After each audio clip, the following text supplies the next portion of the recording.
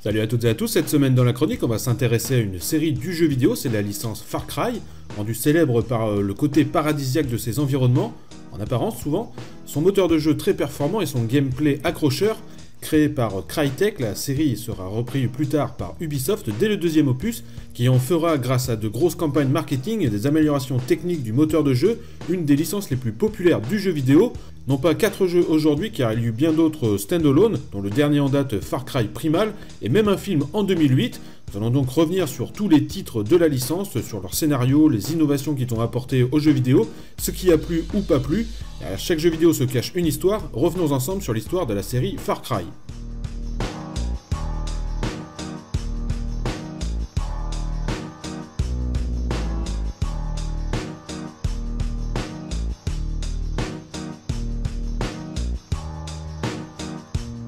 Alors l'histoire de la série Far Cry commence en fait dans les locaux de la société Crytek, fondée en 1999 en Allemagne.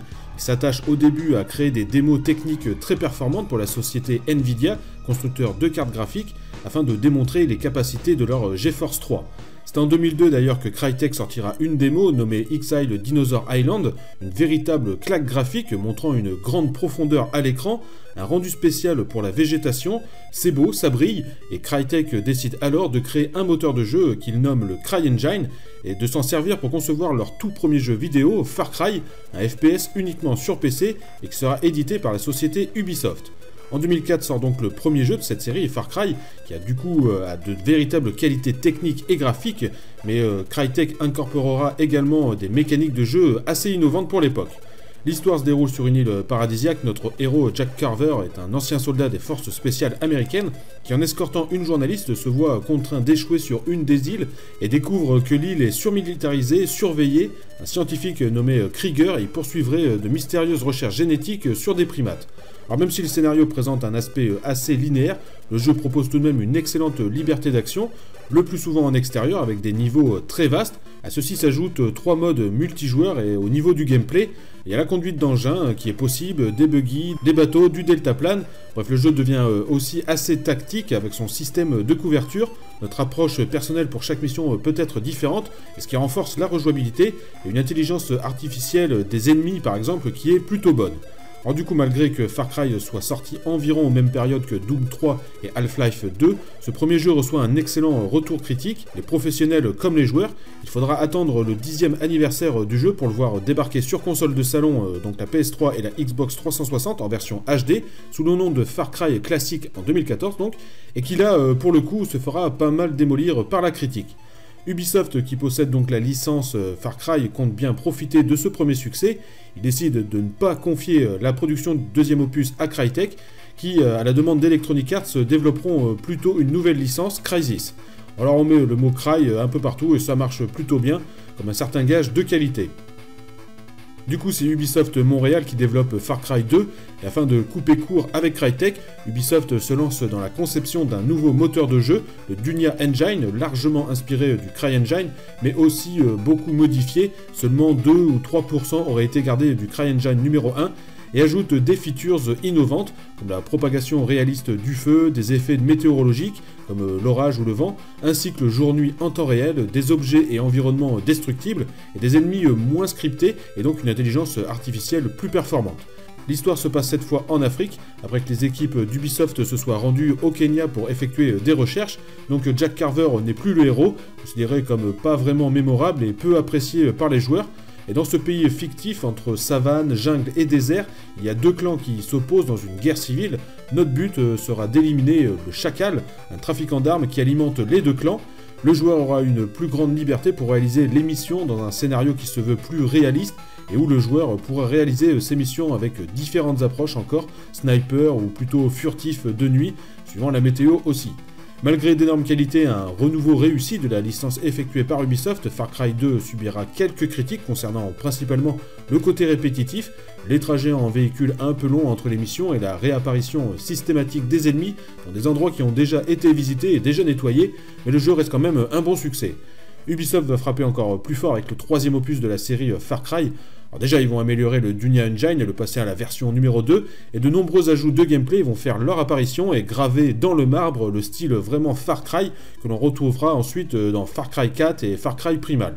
Le scénario du jeu va aussi être une raison du succès de ce Far Cry 3, qui sortira donc en 2012 sur PC et console, ainsi que les personnages qui vont marquer les joueurs comme Vass, le psychopathe, le deuxième antagoniste du jeu avec Hoyt Volker, le trafiquant de drogue. Alors Vass va véritablement marquer les joueurs, le cara design est inspiré de l'acteur canadien Michael Mando, personnage sera carrément sur la pochette du jeu, ce qui est assez rare euh, de mettre un ennemi euh, en gros sur la jaquette, et puis il sera pas mal utilisé aussi pour la promotion euh, du jeu. Cette fois-ci, l'histoire de Far Cry 3 se déroule sur l'île de Rook Island. Les pirates menés par Vass prennent des touristes en otage. Ce sera également le cas d'un groupe de Californiens qui se rendent sur l'île en parachute et dont fait partie le héros du jeu, Jason Brody, qui voit son frère aussi se faire tuer par Vass et qui réussit ensuite à s'échapper dans la jungle. Ubisoft Montréal ne sera pas le seul à produire le jeu, ils seront aidés par les filiales d'Ubisoft comme Red Storm Entertainment, Ubisoft Massive, Ubisoft Reflection et Ubisoft Shanghai, chacun s'occupant d'une partie du jeu. Les nouveautés euh, du jeu sont nombreuses, lancer des couteaux sur un ennemi, utiliser des tyroliennes, on peut cueillir des plantes pour se soigner par exemple, ou encore chasser les animaux sauvages pour se confectionner euh, des objets dans un système de craft, facilitant ainsi euh, la progression du joueur qui se matérialise aussi par trois arbres de compétences, améliorant l'infiltration, la chasse, la santé ou la mobilité. À chaque mission réussie, euh, de nouveaux items sont débloqués un système sur la carte du jeu permet de conquérir euh, des avant-postes, débloquant des zones et affichant de nouvelles missions annexes ou des zones de chasse précises. Les critiques sont encore meilleures que pour les deux jeux précédents de la série, pour ses graphismes d'abord, son scénario, son exploration d'un grand monde ouvert, des personnages incroyables, son gameplay, son moteur de jeu. il y aura seuls quelques problèmes de répétitivité euh, dans les missions, qui seront avancés par les critiques, c'est un peu le problème des jeux Far Cry, euh, pas mal de missions euh, se ressemblent de près ou de loin, ça n'enlève rien à la qualité euh, des jeux en général. C'est ainsi qu'Ubisoft se lance rapidement dans la conception d'un Far Cry 4 qui sortira en 2014, et l'histoire se déroule cette fois dans le pays fictif de Kirat, situé dans l'Himalaya. On y incarne un certain AJ Gale qui revient sur sa terre d'origine pour disperser les cendres de sa mère. Il se retrouve alors plongé au cœur d'une guerre civile entre les rebelles du Sentier d'Or, fondés par son père, et du dictateur autoproclamé euh, Pagan Min. La carte euh, se composera de 14 zones au total avec de nombreuses forteresses, des postes avancés, des tours radio pour débloquer euh, de nouvelles zones et pacifier les territoires un à un. Le jeu reprend quand même pas mal le concept de Far Cry 3, beaucoup diront même qu'il s'agit d'un Far Cry 3.5, tant les comparaisons sont flagrantes. Le gameplay ressemble en effet beaucoup, on peut chasser et se servir des cadavres pour crafter des objets, on peut également monter des éléphants euh, pour écraser les ennemis, de nombreuses missions annexes sont aussi présentes. Ubisoft a voulu rajouter euh, de la verticalité au jeu en incorporant euh, des grappins pour escalader les falaises ou des wing suites pour se déplacer dans les airs. Far Cry 4 est jouable dans différents modes. En coopération, deux joueurs peuvent se battre ensemble. En mode arène, on peut ainsi se battre contre des animaux ou même des humains. Et enfin, un mode multijoueur qui fait affronter deux équipes, les rebelles du Sentier d'Or et Rakshasa, les uns utilisant des armes modernes, les autres utilisent plutôt des capacités un petit peu plus mystiques. Alors pour concevoir le jeu, Ubisoft a encore fait appel à ses différents studios, comme pour Far Cry 3, Ubisoft Montréal a travaillé sur la campagne du jeu, Ubisoft Toronto sur les missions euh, Shangri-La, Red Storm Entertainment le mode multijoueur, et Ubisoft Shanghai a travaillé sur les missions euh, liées à la chasse, et enfin le studio de Kiev euh, sur la version PC du jeu. Comme dans Far Cry 3, le quatrième opus possède un éditeur de cartes amélioré et facilement utilisable, on peut ainsi explorer les cartes créées par d'autres joueurs. Les critiques souligneront toujours le même problème de la licence qui revient sans cesse, c'est la répétitivité de certaines missions. On critiquera aussi euh, les personnages comme Pagan Min, euh, l'antagoniste du jeu, qui est moins charismatique que Vass dans Far Cry 3, mais malgré ça le jeu se vend quand même très bien, reçoit d'excellentes notes sur Metacritic et Game Rankings, mais un peu moins bonnes que pour Far Cry 3 euh, tout de même. Voici donc les 4 jeux hein, de la série principale, et avant de passer aux autres jeux Far Cry, on peut citer la sortie au cinéma euh, en 2008 du film Far Cry, réalisé par l'excellentissime Uwe Ball. J'ai déjà pas mal mentionné dans ma vidéo sur les adaptations euh, de jeux vidéo en film. Le film met en scène l'acteur euh, Till Schweiger, qui joue le rôle de Jack Carver, le héros du premier jeu Far Cry, puisque en fait le film reprend en gros l'essentiel du premier jeu, pour un budget total de 30 millions de dollars, et comme évidemment réalisé par Uwe Ball, euh, le film se fait euh, pas mal défoncer par la critique. comme je disais dans ma vidéo le mois dernier, la tendance serait euh, plutôt aux studios de jeux vidéo de mieux contrôler la production cinématographique de leurs œuvres vidéoludiques.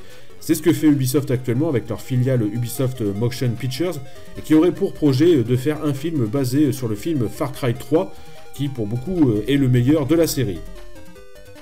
Puisqu'en effet, mis à part la série principale, Ubisoft a aussi développé des jeux annexes. Il y a eu Far Cry Instinct, tout d'abord, sorti en 2005 sur la Xbox.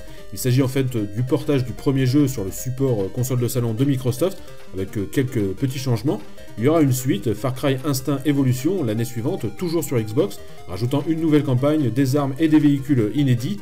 Et la même année, mars 2006, une version Xbox 360 sort, euh, appelée Far Cry Instinct Predator, plus longue durée de vie, graphisme amélioré et surtout passage à la HD. Fin 2006, Ubisoft sort Far Cry Vengeance sur la Nintendo Wii avec encore une fois le héros Jack Carver et propose un gameplay adapté à la console puisqu'il tire parti de la manette Wii.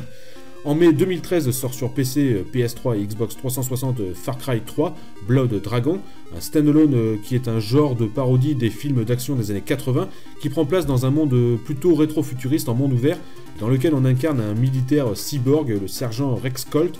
Le jeu utilise le moteur de jeu de Far Cry 3 et de ses mécaniques en général, ses véhicules, l'arbre de compétences, une expérience euh, quand même assez linéaire, le massacre de la faune locale pour se fabriquer euh, des petits sacs Louis Vuitton, et pour son originalité, euh, le jeu recevra quelques bonnes critiques, un des meilleurs, sinon le meilleur démarrage pour un jeu de toute l'histoire de la société Ubisoft, c'est quand même pas mal. Et enfin, pour finir cette vidéo sur la série Far Cry, le dernier jeu en date sorti début 2016, c'est Far Cry Primal. Ubisoft a voulu complètement changer d'univers, fini le monde contemporain ou futuriste. Far Cry Primal s'attaque à la préhistoire, puisque l'histoire se déroule en moins 10 000 avant Jésus-Christ, à l'âge de pierre, et donc fini les flingues, les bagnoles et les trafiquants de drogue. C'est actuellement euh, le jeu sur lequel je suis en train de jouer, euh, je passe pas mal de temps, c'est ce qui m'a donné d'ailleurs de faire cette chronique sur la série Far Cry en entier, et je dois dire que j'apprécie quand même pas mal le jeu. On y incarne un certain euh, Takar qui se voit séparé de son groupe dès le début du jeu, qui rencontre une jeune femme, Seyla, de la tribu des Wenja, qui sont trop souvent attaqués par une autre tribu, les Udam. Notre mission sera alors de battre les Udam et au fur et à mesure on construit notre village de Wenja, on rassemble les Wenja, notre tribu autour de nous, qui euh, devenons un petit peu le maître des bêtes. En effet, outre les Udam euh, qui parsèment le terrain de jeu, une multitude d'animaux sont présents, et après une mission auprès d'un chaman, euh, celui-ci nous donne le pouvoir d'apprivoiser les animaux. On peut ainsi avoir un tigre à dents de sabre à nos côtés, on peut les chevaucher, on peut grimper également des mammouths. Certaines missions nous mettent même dans la peau d'un mammouth qui doit aider ses congénères face à des humains hostiles. Sinon, on parcourt la forêt, la savane, la montagne, à la recherche de nouvelles missions. On attaque des postes avancés contrôlés par les Udam afin de pacifier des zones et aider les Wenja. Puis on rencontre ensuite une nouvelle tribu, les Isila, leur peau peinte en bleu, qui ressemble un peu aux Aztèques, ils font des sacrifices humains et sont un petit peu plus dangereux que les Udam. Pour les armes, on passe du gourdin à la lance et bien sûr euh, des arcs. On doit toutes les construire à partir de ressources que l'on trouve sur notre chemin grâce à un système de craft. Far Cry Primal utilise également le moteur de jeu d'Unia Engine 2, comme pour les Far Cry 3 et 4, donc on retrouve à, peu près euh, le même type de gameplay, la chasse, le craft, euh, compétences à débloquer, qui améliorent notre personnage, nos capacités.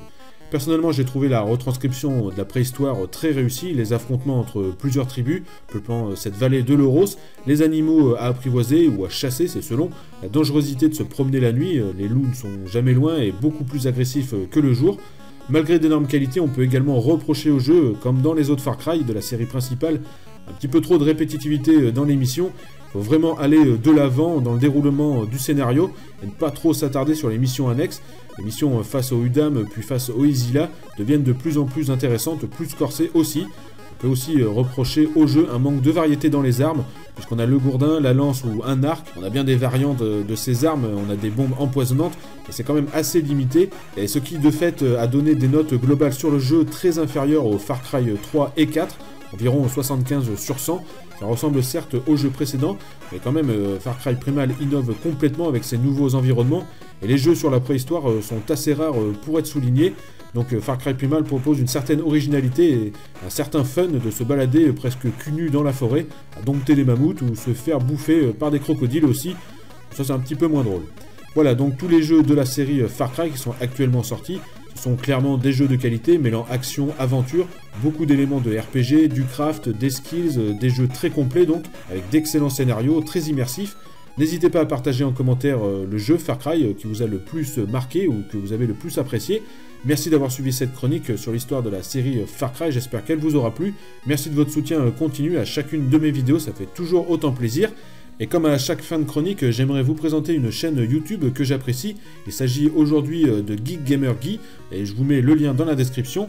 Vous trouverez sur sa chaîne de, nombreux tests de jeux rétro, enfin rétro disons concernant surtout euh, des jeux de la 5ème et de la 6ème génération, de la Saturn à la PlayStation 2, en passant par la Dreamcast, une présentation euh, assez complète de jeux de différents genres, de la voiture, du ski, des shooters, euh, des jeux d'aventure, du platformer. Bref, c'est assez varié dans la ludothèque avec des explications qui font bien le tour des possibilités des jeux, avec des vidéos qui font de 10 à 30 minutes environ. Donc n'hésitez pas à faire un tour sur sa chaîne, il permet de découvrir quelques pépites vidéoludiques peu connues. Pour ma part, on se retrouve le plus rapidement possible pour une nouvelle chronique. A bientôt, ciao